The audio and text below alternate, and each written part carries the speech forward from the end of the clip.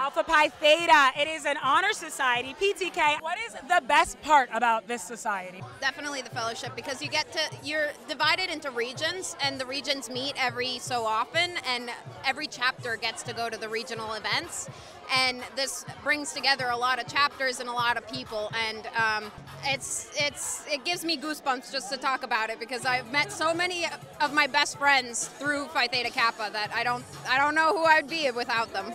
Oh my God, absolutely. And so, can we just tell everyone why it's so important to be a part of, the, besides that, why is it so important to be a part of the Honor Society? Like for the future, not even for just now.